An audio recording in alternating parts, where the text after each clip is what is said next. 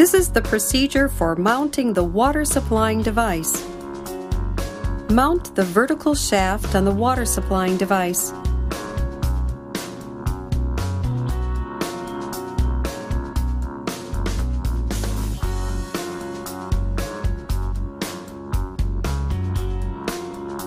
Fasten the three socket cap screws, then tighten the cap nuts on the operating water tube completely.